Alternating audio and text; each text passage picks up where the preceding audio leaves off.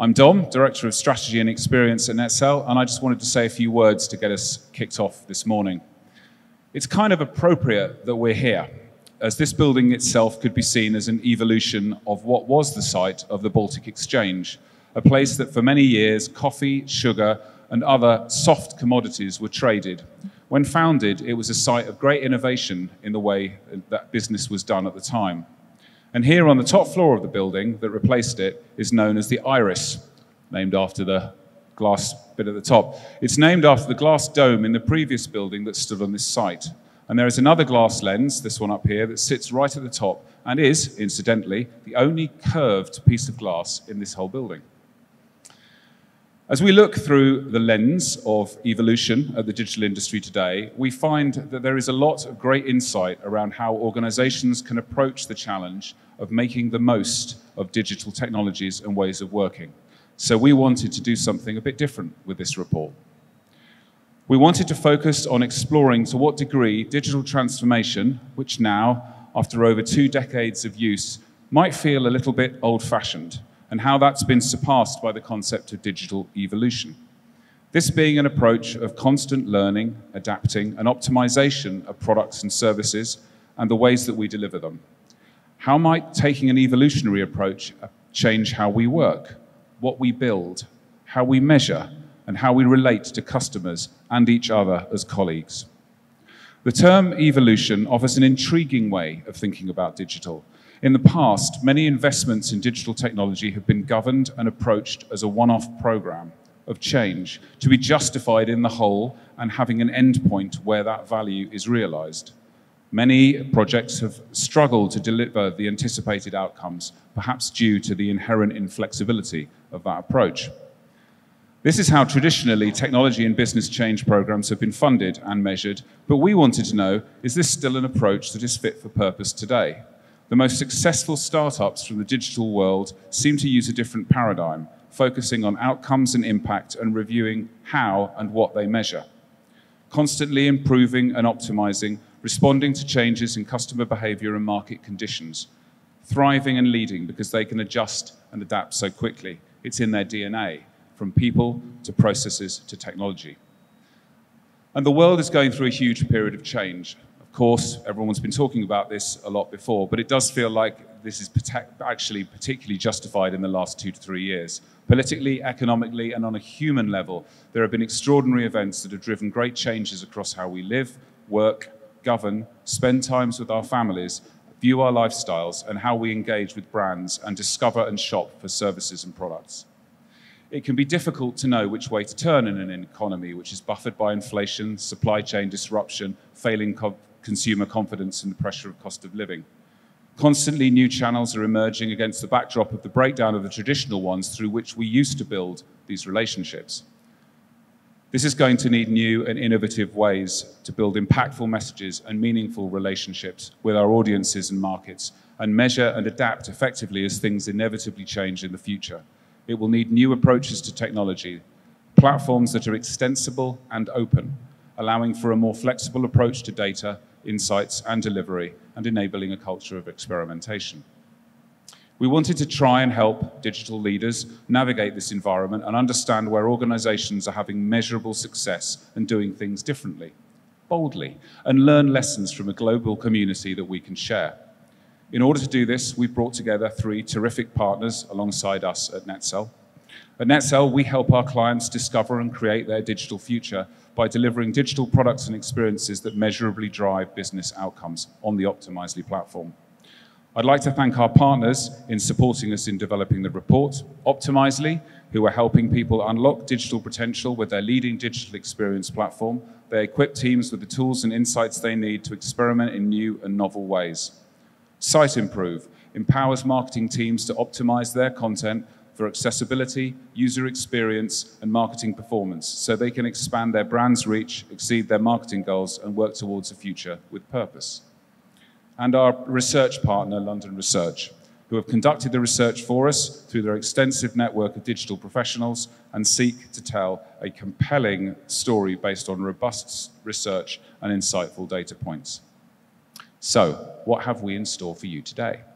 Well, we'll kick off with Linus from London Research, who will be taking us through the headline re- results from the report. What are our high level findings? What sectors are leading the way? What, where is digital evolution taking over from transformation in the enterprise? And what work is there still to do? And then we'll be followed by a panel discussion where Mike Nutley from uh, London Research will chair a session joined by some very experienced people across the digital uh, industry to help us discuss some of the main points of the report. Uh, unfortunately, the names are um, here.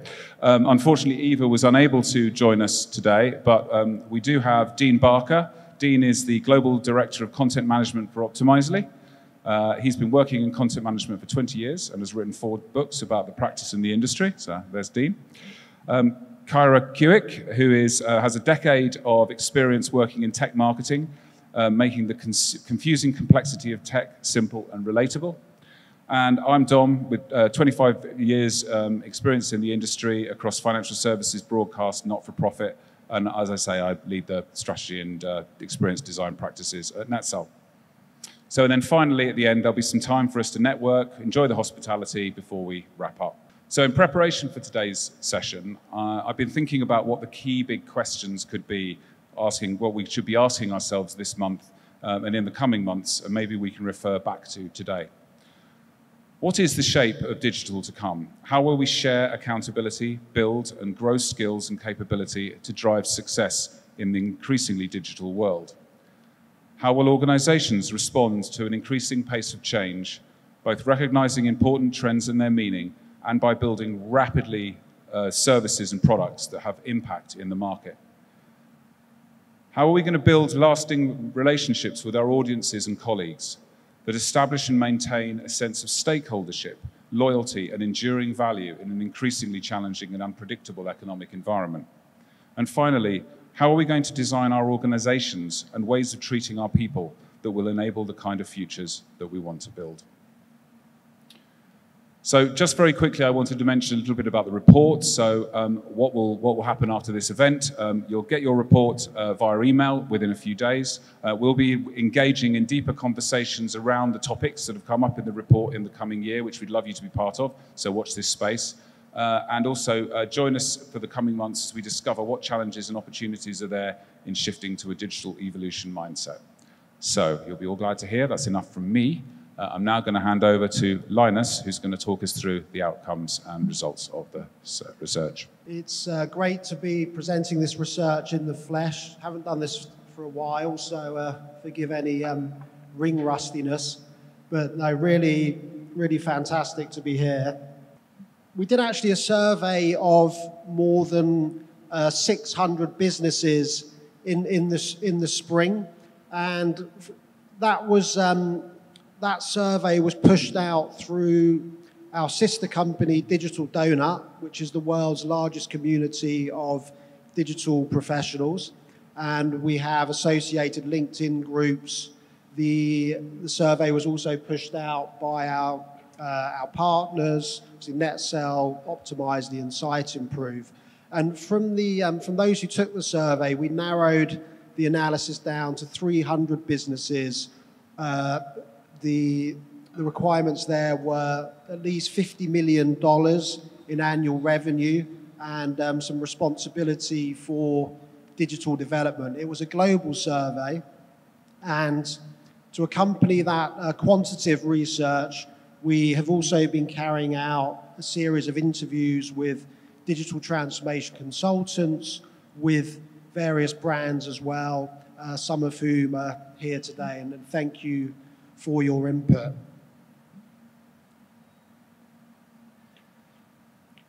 So obviously the first question we really needed to ask was, was what are we talking about when we're describing digital transformation?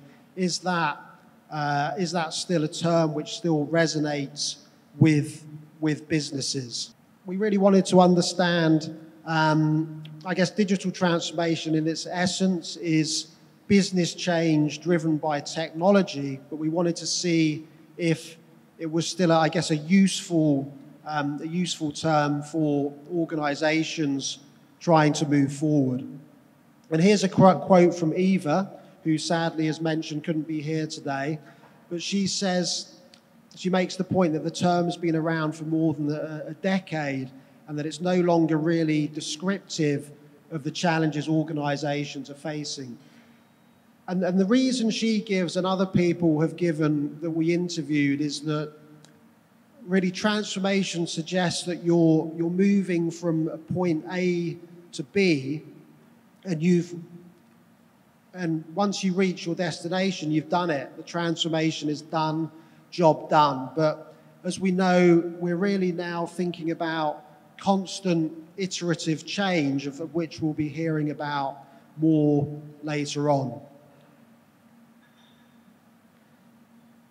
As part of the survey, we asked, we asked respondents to indicate what they thought of um, as digital transformation being relevant for their businesses.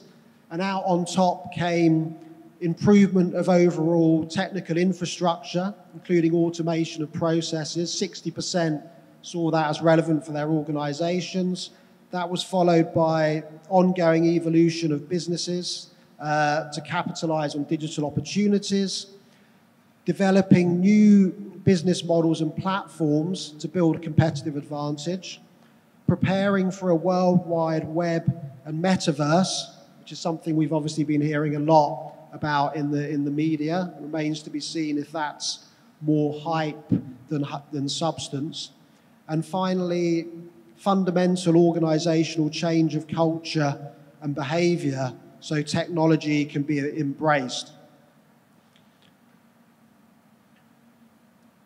And here we can see a, a split in those results by uh, digital focused businesses and established, established offline businesses. We obviously wanted to make that distinction in the report. There, there's a world of difference between an organization or, say, a retailer or financial services company that's been in existence for, de- for decades and has been gradually pivoting towards digital, and a, a brand um, say a fintech brand or a, an online only retailer whose very essence, I guess, is digitally driven and they would describe themselves as digital first. So, in terms of this question in the survey, we can see that established offline businesses are more focused on developing new business models and evolving their platforms to create a competitive advantage.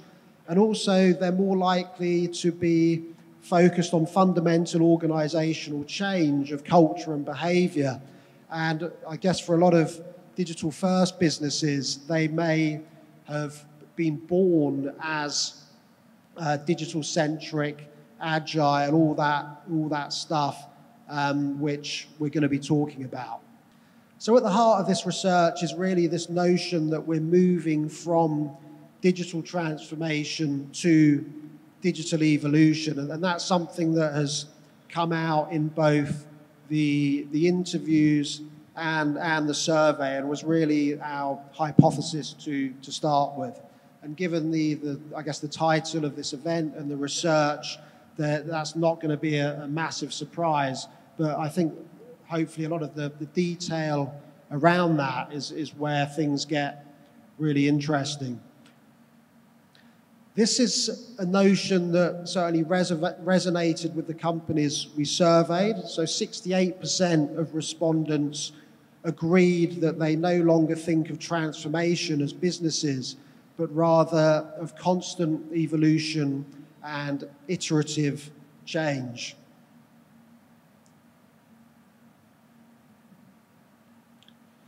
Going to read out this quote from uh, Chris Wall, who's um, a digital consultant and former chief digital officer of Hargreaves Lansdown, which is in the financial services sector. He says, Many businesses have catching up to do from the point of view of technology, of culture, of organizational design. But transformation and the digital way of working now is about getting a business to a point where it can, can continue to adapt and evolve in an agile manner.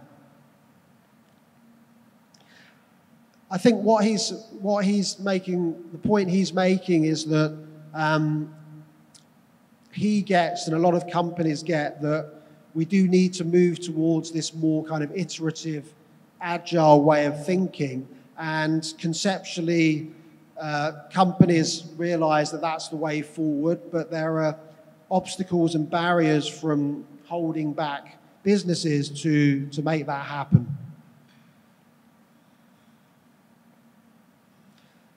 So this is the, I guess, the essence of the, of the findings really is that the, what we're, what we're finding in the research is that digitization of the main processes within business is fairly widespread. So by digitization, uh, this moving in the digital direction, a lot of companies have got their digital channels well established for marketing. They've automated and digitized various workflows and processes. They're getting on top of data and analytics to make data driven decisions. They're thinking in a, customer centric fashion um, and, and moving in that direction. But the real benefit of organizational change around adaptability, agility, shared insights, and capability are less well established and developed. So there are some building blocks there, but there's a lot of work to go to move true organizational change beyond um, just the, the tech function or the IT function. And this, I think, is one of the, the most interesting charts in the report, where we've asked companies which two C suite executives are most influential in driving digital initiatives within their organizations. And we can see the Chief Technology Officer came out of top, uh, on top with just over half of respondents. And that was a, something of a surprise to us, given that the audience we surveyed uh, is quite steeped in, in marketing. Um, Chief Marketing Officer down at 24%, and in between those, the CEO with 34%. And that, that's something that hopefully will be looked at in the, in the panel discussion where who needs to be driving this digital change within the organization.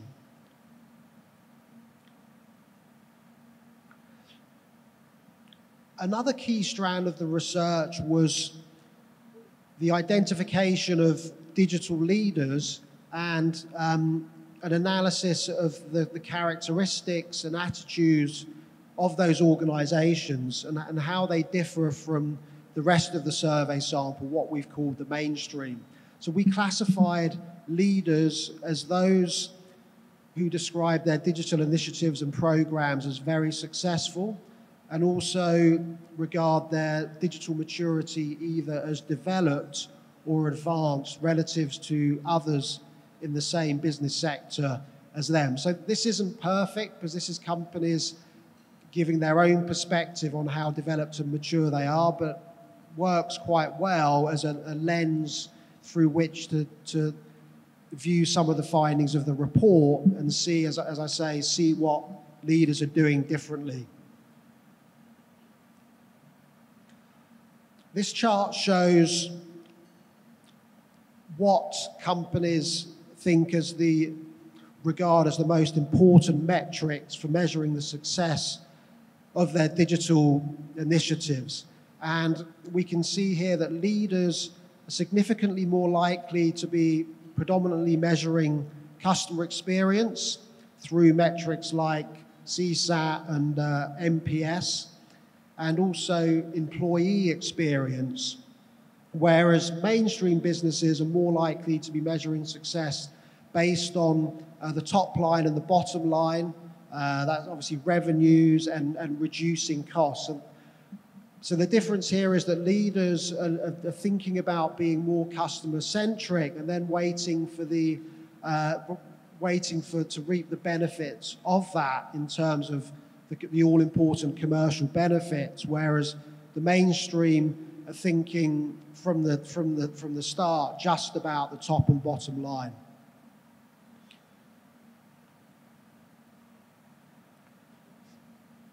Another big difference between leaders and the mainstream is uh, their view on whether they have the right kind of capabilities and skill sets within the organization. So, leaders significantly more likely to have the right balance of capabilities across product design, technology, and data driven insights.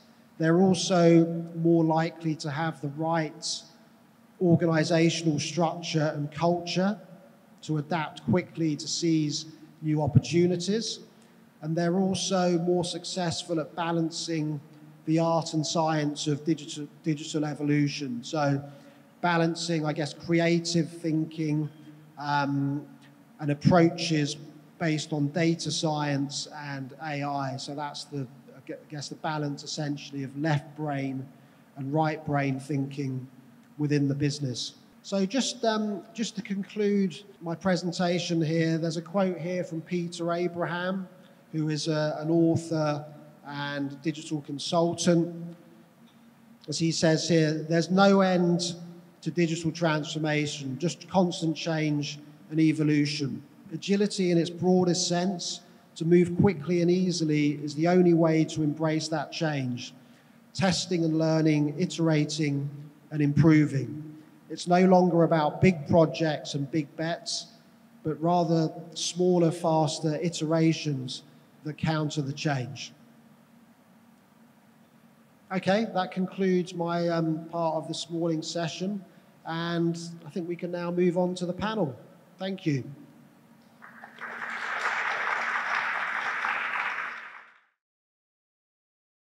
As Linus said, the hypothesis that we started off with with this report was that we're moving from an, an age when, we, when companies think about digital transformation uh, as something that is, that is a journey from point A to point B, that, uh, as one of the one of the contributors to the report said that at some point there's a ribbon cutting ceremony and, um, and everybody goes woohoo and uh, digital transformation's done. Um, what are we going to do now? Um, and now we, we're moving into a time when people think that, you know, that, that, that change is constant. Change is, and, and, and, the, and the mindset that needs to be achieved is one of readiness uh, to move on, uh, to, to respond to change. And we, we adopted this, the, the metaphor of evolution. Um, in a slightly different way, I suspect, to the way Darwin originally meant it. In biological evolution, company, uh, uh, uh organisms, blimey, uh, organisms are um, the, the, the, organisms that are most suited to the new environment are the ones that survive best. What we're saying here is that the organizations that, um, that are most ready to change are the ones that will survive best, hence the survival of the quickest.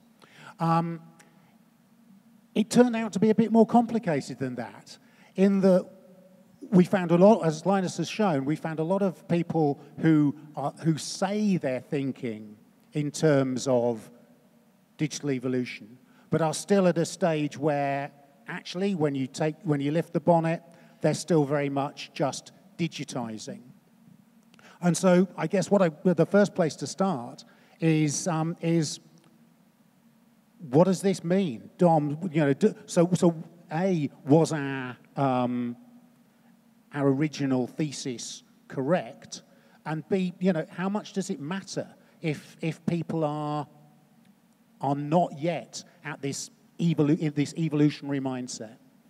Um, well, I think, I think, I think it's a, it's a, it's a, the answer is different from what, depending on what organization and what sector you operate in.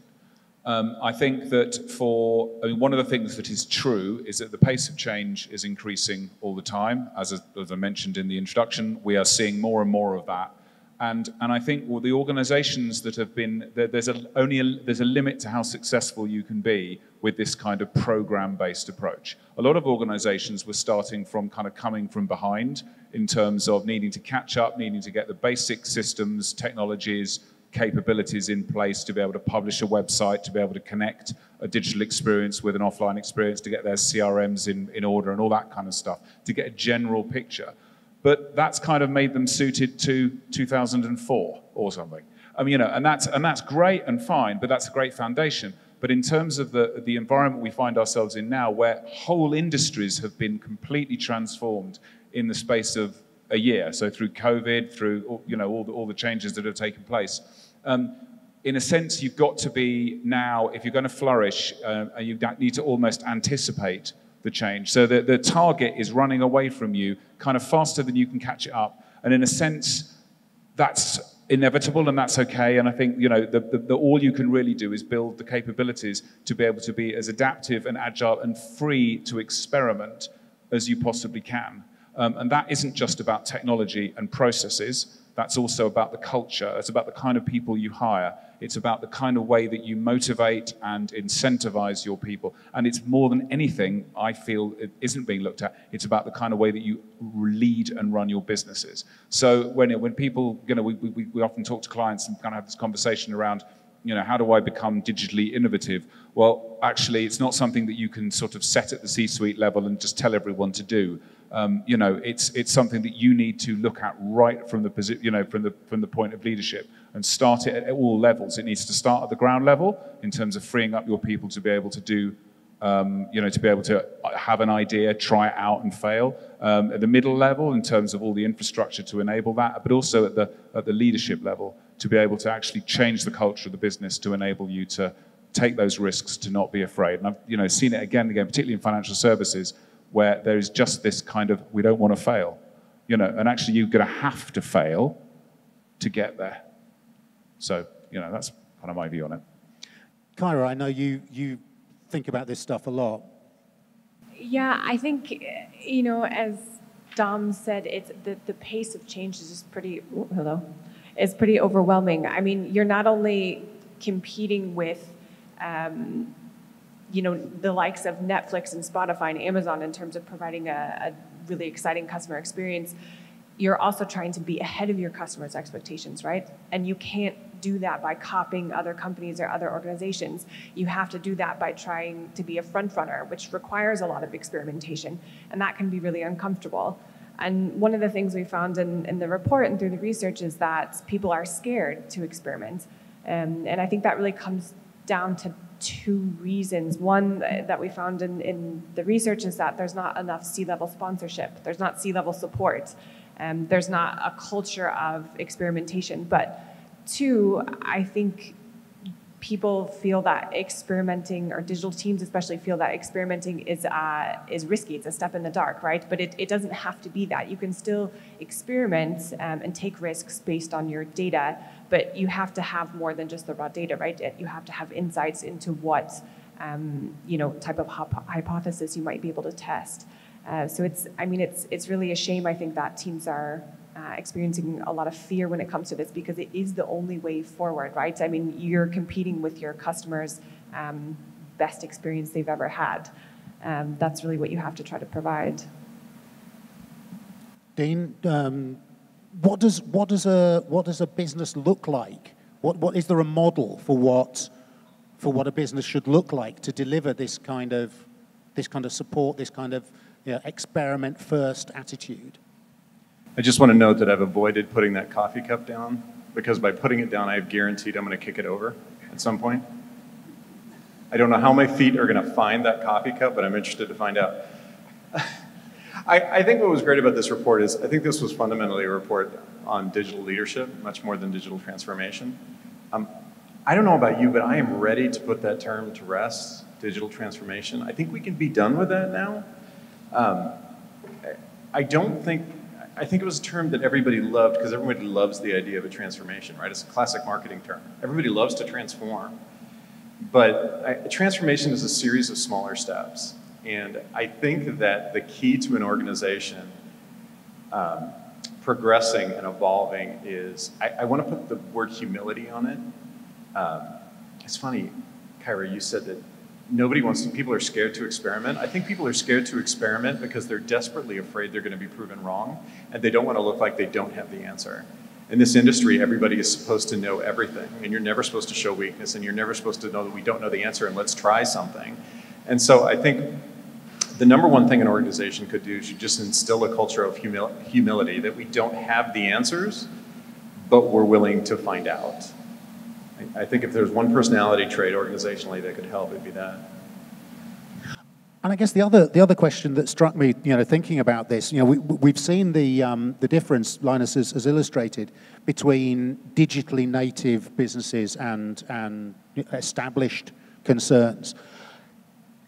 Can can we get there from here? Can, can, can a, a, an established business turn itself into something that looks di digitally native?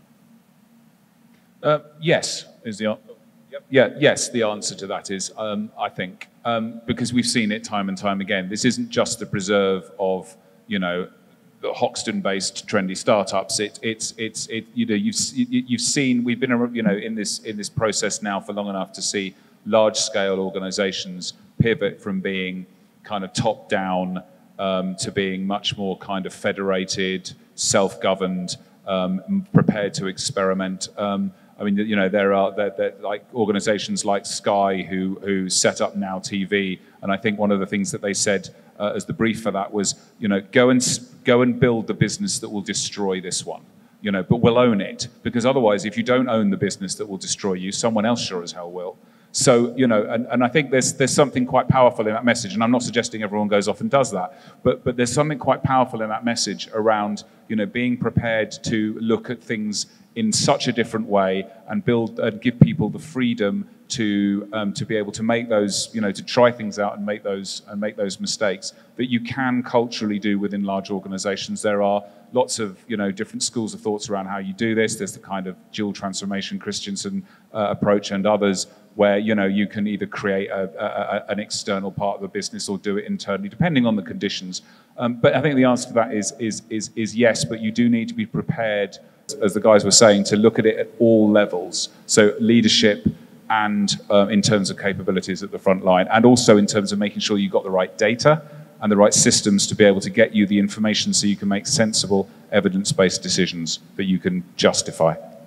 I love that quote. Build a, build a business that will destroy your business. I think that reminds me of in the intelligence community, kind of the CIA and, and global intelligence, they have what they call red teams Red teams are internal teams that try to destroy other teams' plans. So if somebody's come up with a plan to accomplish something, probably sinister, uh, there's a red team that specifically tries to poke holes in that and break that plan. And I wonder if we could use to have red teams at our organizations. Would it help to take a team for six months and try to come up with a business model that would destroy your current business model? Would that be an educational experience? Would that give you some new insight on your industry? I, I think there's value there. So picking up on something you just, you just said, uh, Dom, um, one of the problems that came up very clearly in the report was, was the question of, of shared data. You know, data, not so much a problem, sharing that data and, and using it to create, to create value, to create a, uh, you know, the, the much lauded single customer view is, is still a problem. Um, what what do businesses need to do to, to, to move on? What do you, how do you, you know, for people who are, looking at this for the, for the uh, you know, what do they do tomorrow? What do you do tomorrow? Uh, I'm not sure I can answer what you do tomorrow. Um, I think you start a conversation tomorrow um, at, at, all of these levels. But I think in terms of what I've seen before is that, again, the data question is, is, is, is kind of threefold. Firstly, having the systems that will make the data available. So are you measuring the right things? Have you connected your CRM with your web analytics? All of that kind of basic hygiene stuff that still a lot of people are a, a little bit a little bit away from and still need to do some work. But the, and, and, and that's really important. And obviously you need the technology community within your organization to support that and all the rest of it. But there's another part of it that I think people don't quite, you know, sometimes struggle with understanding, which is that if you're going to get a single view of your customer or of your situation or of your market or whatever, you need to have the leaders of the different parts of the business, production, service, delivery, marketing, communications, whatever they are, looking at the same things. And the problem is, is that if we're all incentivized to look at different things, communication and marketing are looking at reach, you know, sales are looking at revenue, um, service delivery are looking at lower costs, then you're all going to be looking for different things in the data. So what you need to do is agree on, this, on, on, on, a, on a common set of things that you're looking for. So you might have the infrastructure in place, but that you need to, you need to understand what it is that, um, what it is that, that, that these trends look like. Um, and, and a lot of that can come from kind of, you know, uh, customer insights, um, mapping your, your customer journeys, um, and also having a close and meaningful uh, involvement of customer groups within the organization. So not just, you know, a, a focus group once in a while every six months, but actually having them intimately involved so that you're having those conversations and you can start to see um, iteratively what are the kind of behaviors and indicators that are likely to suggest the kind of behavior you're trying to you're trying to uh, you're trying to, to drive and, and that's something I still think a lot of organizations are struggling with so get the data in place but also work with the owners of the different parts of the business to get them involved in not just getting dashboards or reports on what they care about now but decide on what you think is going to be important in the future and get dashboards and the, and the reporting and, and, and, and that built into the culture that you're living and breathing every day. How much of this comes to the way you set your the way you set targets for people? Um, Kyra, do you, do you have a do you have a view on that? Yeah, I think, I mean, I would just echo what Dom says that I think the, the qualitative element is actually much undervalued. We've talked a lot about data, but I think oftentimes teams are overloaded with data and they, they, they're drowning. It's like, you know, drinking from a fire hose. They don't, they don't know what to do with it. And actually, what we've seen when we talk to a lot of our customers is what's missing is that qualitative element. So really talking with uh, you know customers or focus groups or whatever, trying to understand what but what does this mean, right? What what actually matters to you? What can we you know see from the data, but also adding that human human element to it. So I think you know when we're talking about setting targets, it's really important not to lose sight of the the human element at the end of that, right? So. Um, yes, our target might be to generate more, you know, marketing qualified leads, but in addition to that, how can we create, you know, this this experience that solves this pain point for this customer? So I think adding, you know, that that human element is really important, and and using your team's abilities um, to solve problems. You know, sometimes we, I think we get so focused on data, we forget that intuition matters, right? That gut, gut feeling on like, I think we should try this because it just feels right. It feels like it might address this customer's need and, and making space for that when we set targets is important. I think this goes back in organizations. We have a problem that I call the psychology of repository permanence. Uh, an organization, any organization, has too many repositories, too many locations for data, and your employees have become cynical about where you're going to put your data. Um, we add new systems all the time, and we tell our employees, okay, now we're going to be using this system. And they're like, okay, well, how long are we going to be doing this? Three months, six months until we move on to the next thing. So when you talk about a single source of truth, you're smiling now, I can see that.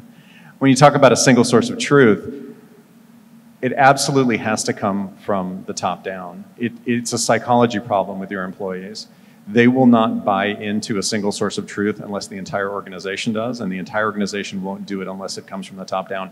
There's a great book by Patrick Lencioni called The Advantage, which is about organizational health.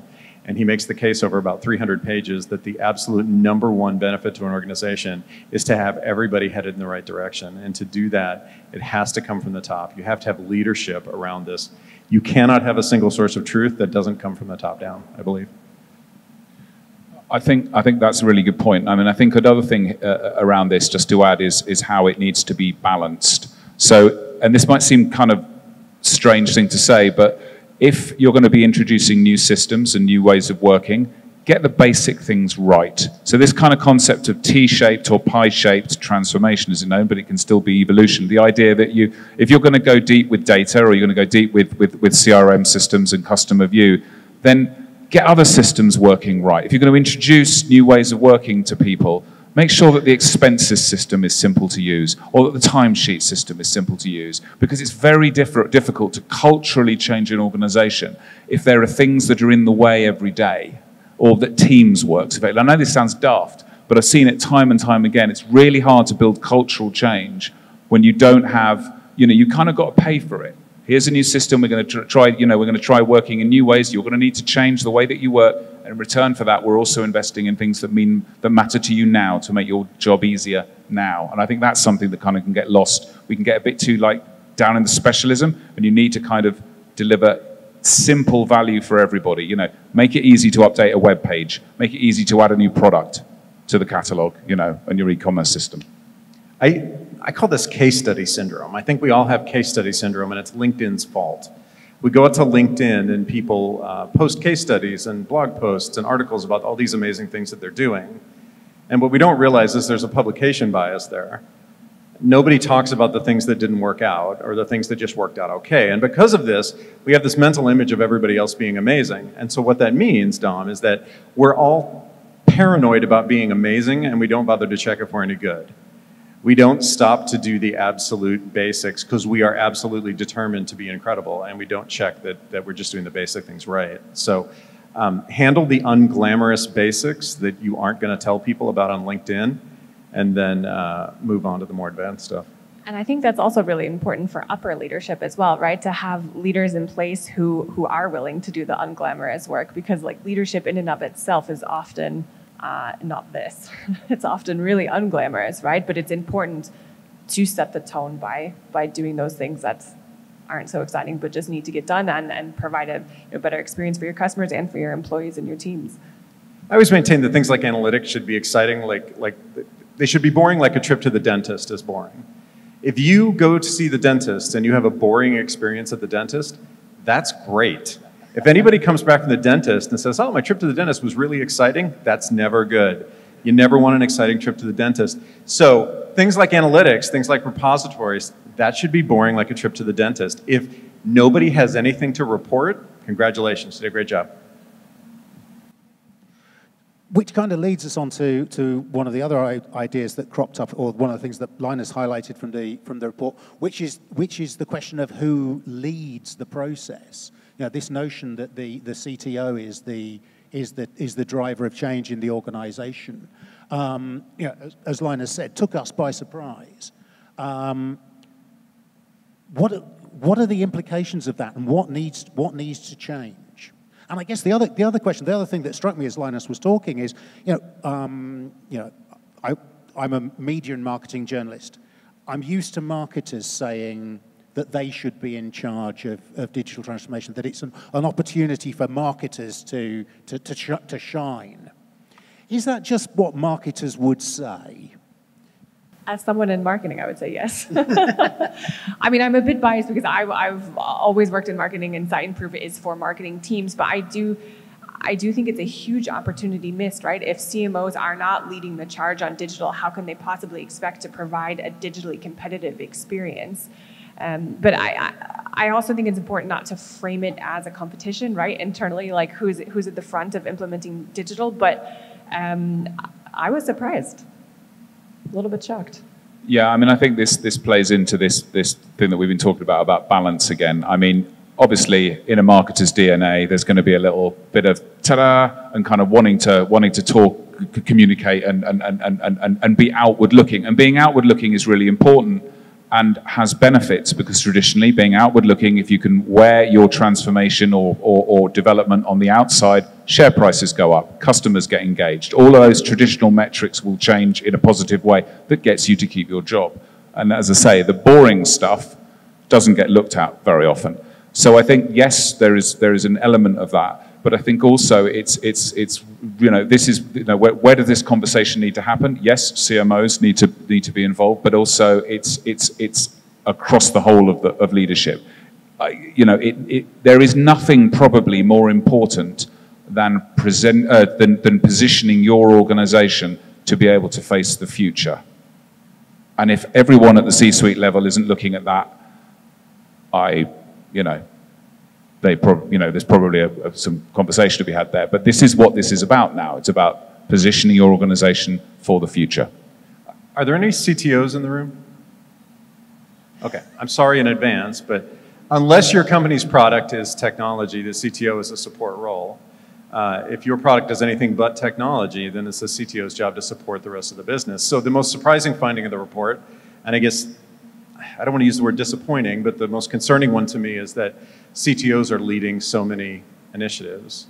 Um, with all respect to our friend here, um, his job is to support the rest of the organization. When it comes to marketing technology, I would hope those initiatives are driven by the CMO and supported by the CTO rather than being driven by the CTO. So that, that was very surprising to me.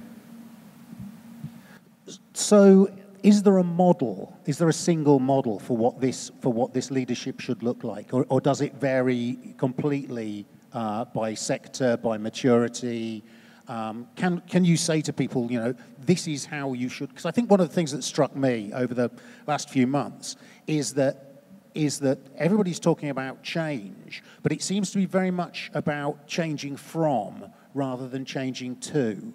And that the, you know, somebody like, you know, Mark, Mark Evans at Direct Line, you know, talks very much and very, and very passionately about, about adopting agile methodologies for, within the Direct Line marketing department. But is, is there a model for what, for what a, an agile enterprise might look like. It's very, you know, it feels to me like it's, it's very easy to say you have to change, but it's much harder to say what, you know, this is, this is, this is something that you might aspire to. This is a structure, this is a, a, a set of relationships that will, that will support the kind of change you need. Uh, yeah.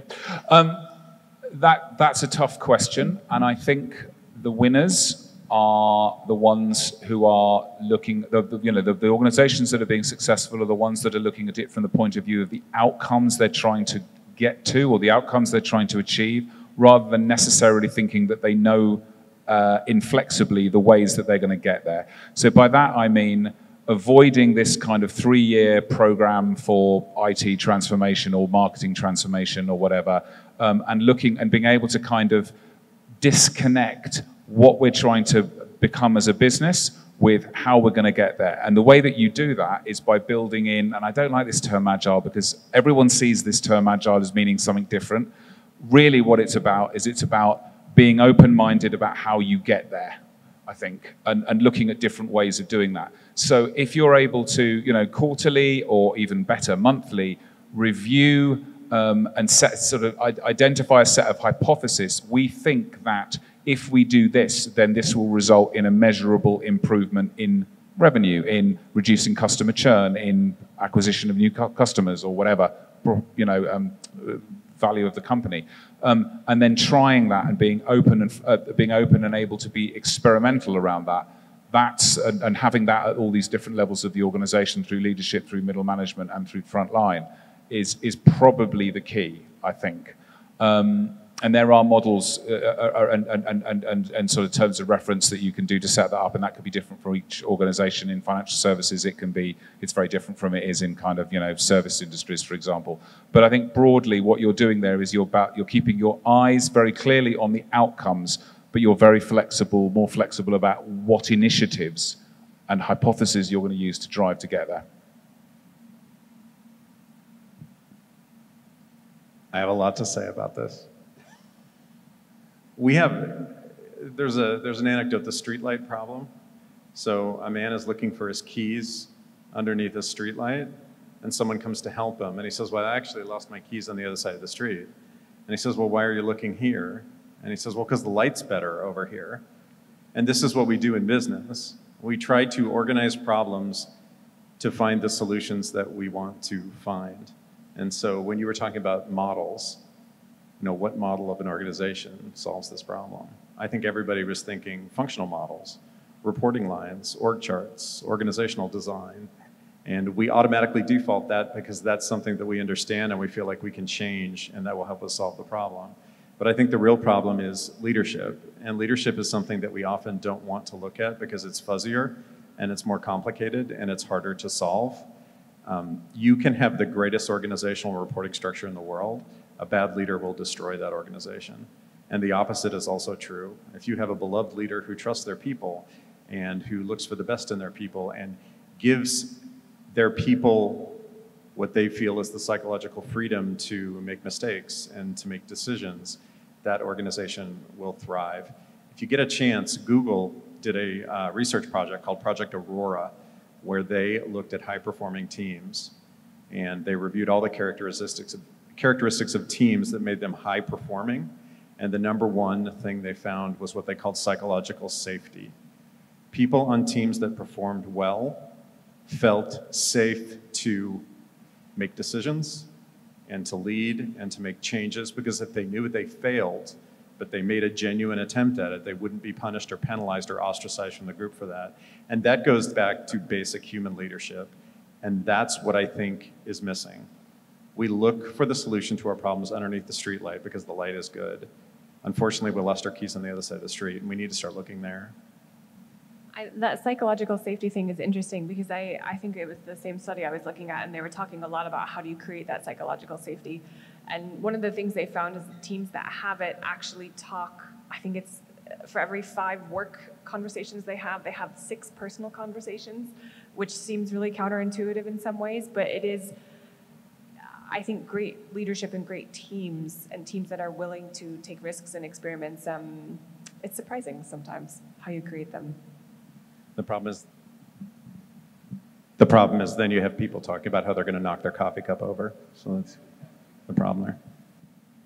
Yeah, because there's a there's uh, similar to, similar to that. There's I remember reading about a, a study that was done of um, success of musicals, and the most successful musical ever is uh, is West Side Story, and and they analyze and the, the research analysed what tried to analyze what made up the uh, the the requirements of a, of a, of a successful musical.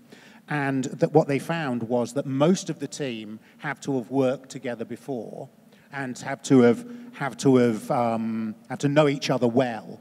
But you need just enough of a wild card to spark everything to spark, every, to, to, spark everybody up. And, and in the case of West Side Story, everybody had worked together on previous shows, apart from Stephen Sondheim who was completely new. There's this sense that, um, that, that you, need, you need familiarity, but you also need, you know, uh, something to just, to, to just spark, um, to just spark new thinking and, and, and to keep people, to keep people engaged and excited. Um, and that's, I mean, that seems to me to be, you know, quite crucial in managing teams, but something that is not something that, that, that, that kind of is, uh, I guess, going back to your point, Deane, which is about leadership. It's not about structure. I saw a negative review of the new Batman movie, and the review started out um, The Batman has all of the ingredients of a good movie. Unfortunately, we don't eat ingredients, we eat meals. Right? It didn't really come together. It's it, the word ineffable, that's a word, right? she, she does content, so I had to check with her to make sure I get the word right. Ineffable, right? It's the thing that you cannot grasp. What's the French phrase? Je ne sais quoi, that thing that you just don't know. And that's leadership, and that's humanity. And I, I think in our organizations today, we try to solve problems with organizational design and software, where we should be concentrating more on human processes and human leadership. I'm the software guy. I shouldn't be talking. I think this is showing that the change is happening. I hope so. But then the other, so just to, just to sort of throw another, another idea out, um, I was reading something a little while ago about, about fighter plane design. And one of, the, one of the things they talk about is, is how, in order to be maneuverable, fighter planes have to be built to be inherently unstable. So they're incredibly difficult to fly, um, but they're incredibly maneuverable as a result. Is there an analogy there with business? Are we, um, you know, we, the business structures we've had um, have worked for a, a, very long time over periods which could be described as equally exciting, uh, traumatic, change-driven as, as the ones we're in now. Um, are we, do we risk jettisoning uh, stability uh, uh in the search of maneuverability? Uh, well, that, that's that. Yeah, I mean, I think everyone's story is individual. Uh, every organization's story is individual, and actually having the the the appetite at leadership level and across the organization to be able to engage in that journey of discovery. You can't read. I mean, there's only so much you can read in in a management book or learn at Harvard you know, Harvard Business School, whatever, around this stuff. You have to go out there and actually start practicing it and, and, and, and discovering it for yourself. So that's the first thing: is be, you know, is is is participate in the change, you know, start to practice uh, uh, the, the, these approaches. But also, I mean, in terms of, um, you know, the, this inherent instability, um, th there's a project I worked on um, a few years ago with a financial services organization in Europe who said to me, Don, we want to build a rebel bank. Um, but we're kind of seen as the most sort of traditional bank in that territory. So they were kind of struggling and they'd done all this kind of work around trying to, you know, roll out innovation and what innovation meant and trying to figure this out for ages. And actually what we realized was that the answer wasn't actually for them to try and culturally change themselves from the top down, but, but was instead to open a center for innovation where they partnered with their uh, perceived competition.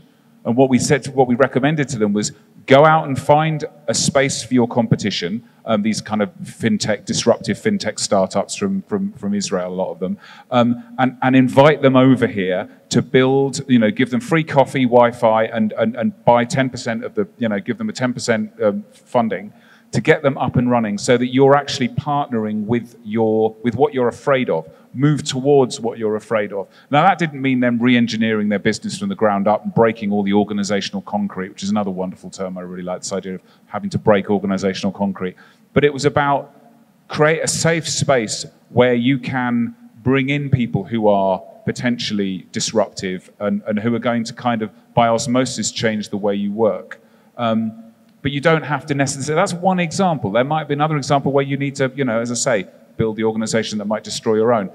But I think it's about it's about you know starting on that journey and seeing that there are you know there are several different ways of doing this.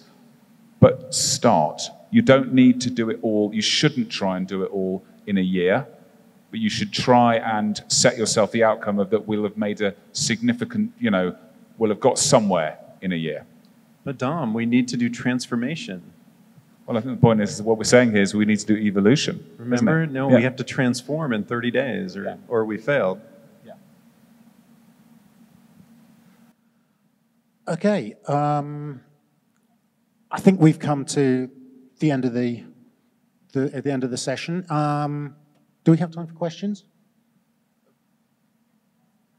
Yeah, uh, so we have, we have time for questions, ladies and gentlemen, if anybody's got anything that they'd like to contribute. Um, Hello there. Thank you for your presentation. You have to have it right up close to your, your mouth. Right up. Um, in the arts sector, they're looking at getting rid of the word digital completely. I don't really think it's a, a useful term anymore, and in public service as well and I would just wonder what you think about that, that whether, how much language has to play in the barrier of, of getting to somewhere different. I know we're all waiting to use the same David Foster Wallace analogy, right? Oh, I w- I wasn't going to, but if you're bringing up Infinite Jest, then that's very no, impressive. David Foster Wallace, he did in 2005, he did the um, commencement address for Kenyon College, his alma mater. And he had a story about two fish were swimming along and an older fish came by and said, Hey, boys, how's the water? And they kept swimming along. And like five minutes later, one of them said, What the hell's water?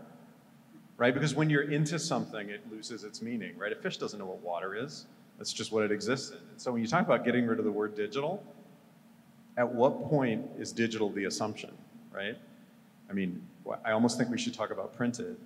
When my mother uh, my late mother got a digital camera, the number one thing she wanted to know was how do I print the pictures out? Because she wanted the printed pictures. And the idea of printing a digital picture to me was just bizarre. And like, she would give me pictures she had taken of my kids, like physical pictures, and I'm like, what the hell am I supposed to do with this? Right? I don't want the physical picture, I want the digital picture because digital is really becoming the default. So I, I think that's very interesting, and I think that's very true. And the fact is, uh, you know, what the hell is water? That's we're the point. There's going to be a point where people say, what is non-digital? Like, what is that? I think it's also, I agree with you, but I think it'll be interesting to see how that develops post COVID. I mean, this is not a digital event, right? We're here in person. So is there a slight reorientation back towards in person, towards tangible and concrete? I don't know. Um, I mean, to answer, it is interesting. I was involved in a, in a, in a piece of work about 10 years ago that I think was called something like Digital is Dead, you know, long live digital, but the idea is that there's that digital as being a separate thing kind of even 10 years ago we should kind of have stopped talking about. We don't have a telephone department, do we? You just pick up the phone, you do your printing, you you you have conversations. You don't go through to a central team to do that for you. And I think that's one of the things that particularly, you know, one of the things in digital, if we're going to call it that, um, and we have to call it something, is that um, is that you know it's about building the capabilities so people know the basic capabilities to be able to do you know to be able to communicate with people. And most communication most first touch points with an organization is through your, the website through social media or whatever you know. But but i think yes. And i think what we're saying here in this report and what we talked what we've been talking about today is that actually it's more about culture. It, there are elements of technology. There are elements of things you might call digital in terms of you know content the writing for the web, all, all of that sort of stuff. But really, this is about building a culture where people can try stuff out quickly because what digital enables you to do is be very responsive and rapidly, you know, rapidly get stuff out there into the market that could respond to and uh, uh, to, to changing conditions. So I think, yeah, 100%, but we have to kind of call it something, and maybe we haven't quite yet figured out the right thing to call it. But I'm, I'm completely with you that we maybe, we won't say transformation again, we won't say digital again. We all can agree that. Never to mention those two words again after we've left this room. But I feel like we should take this opportunity, Dom, to settle our bet. Has anyone in the room actually read Infinite Jest? Oh, bravo, sir. Thanks, thanks for ruining that one. We had a bet that no one had ever actually read it. I think, I think some of the ways it's being positioned in the conversations I've been involved with is that it's, um, it's a tool among others. So it's a, it's a mode to get you there. So uh, it, it's like we're looking at a customer journey or an experience of which digital is a mode to help you get there. So things like role names, I sort of say, are removing the word digital and then looking more at what is it that digital's enabling. And it's that shift of language that's interesting to me. It's, it's interesting that because I think when you look at the really successful organizations that often are digital, they don't have, they won't have a chief digital officer or a head of digital. They'll have a head of growth or a head of acquisition or a head of customer experience. Um, and there'll be people there who are responsible for kind of outcomes rather than departments. Having a head of digital is what head of what, digital what digital success, digital acquisition, digital reduction in costs. What head of digital? Um, and I know there are a lot. Mean, I've been one guilty. You know, well, you know, I'm sure there are lots of us here. But what does that? You know, and, and this is why it's really important for organisations to understand what it means. Why you need to have a solid strategy which has a digital element to it. Again, I'm not even sure that we're in a world of digital strategy anymore because digital strategy is just probably your strategy, actually. Um, so yeah, so, so it, organizations that tend to be successful tend to be the ones that have um, role names or roles around outcomes rather than departments. Does anyone here have the title Chief Digital Officer? Oh, thank goodness, because I hate that title. Like, what does that even mean, Chief Digital Officer?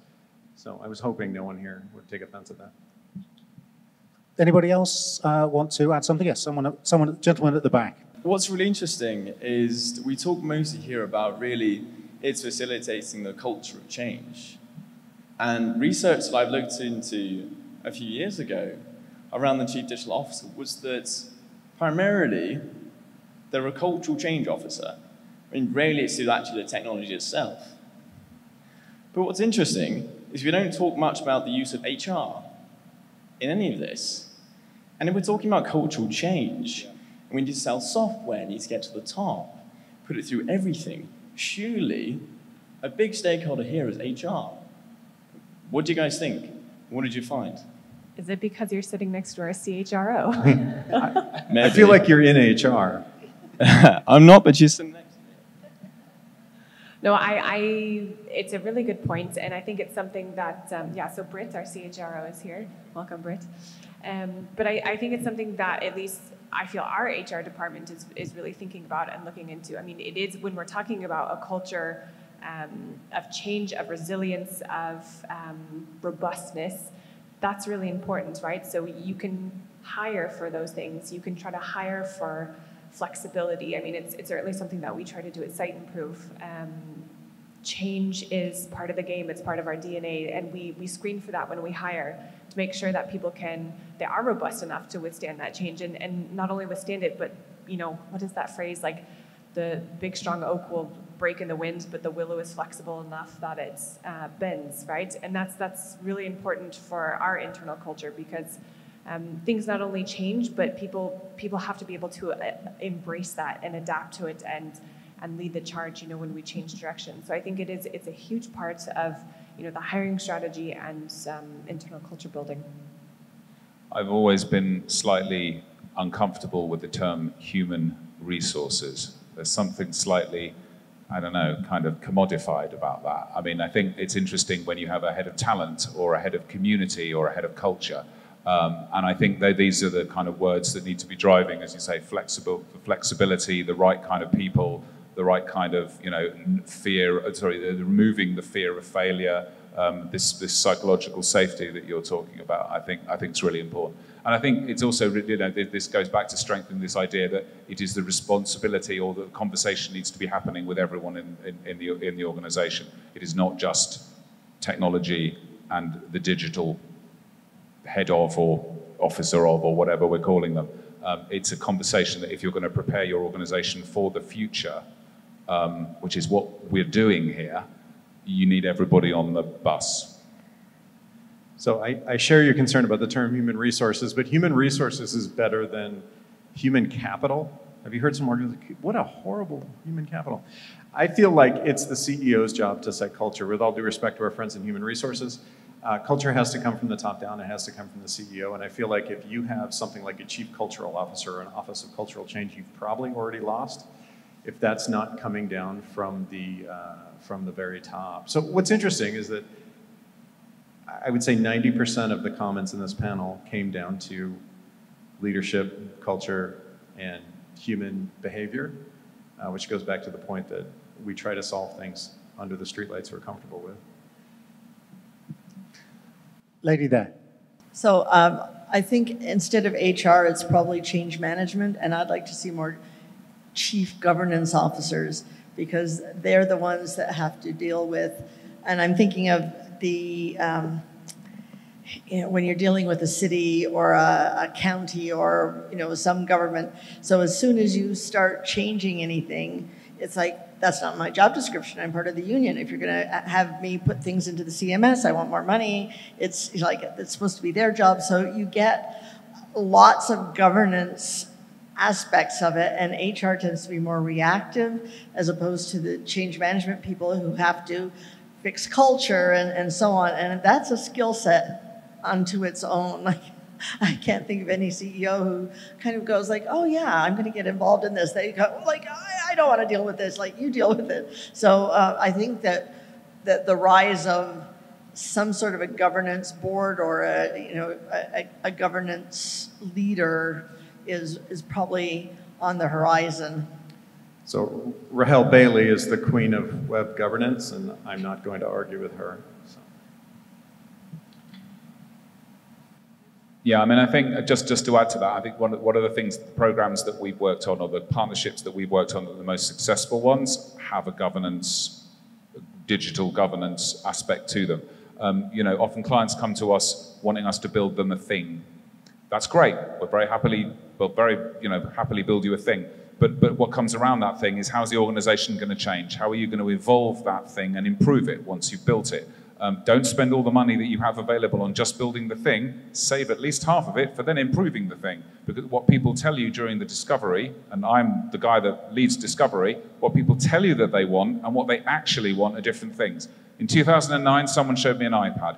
I thought it was rubbish. It was a rubbish TV and it was a rubbish computer. Now I can't live without them. So I have been changed by that. So, you know, what I would have said I would have wanted, which is a decent computer or a decent TV, please, not a kind of horrible hybrid of both, isn't actually what I ended up wanting. So when you put your product in the water and start sailing, that is when the learning really starts. So that's really important, and that's kind of that's the stuff that feeds the governance. And from there, you understand. You know, you can start to understand and have the conversation around how is this changing the way that we deliver services? How is this changing the way that we presenting our products, talking to our customers, learning, and all these? What are the indications that we should be looking at? The things that we thought we should look at, such as the you know, whether it's cloudy or not isn't necessarily an indication of what the weather's going to be like in a week's time. You start to look at something else. So as you learn, you start to realize that what you're measuring now may not actually be an indication of what you're looking to discover, if that makes sense.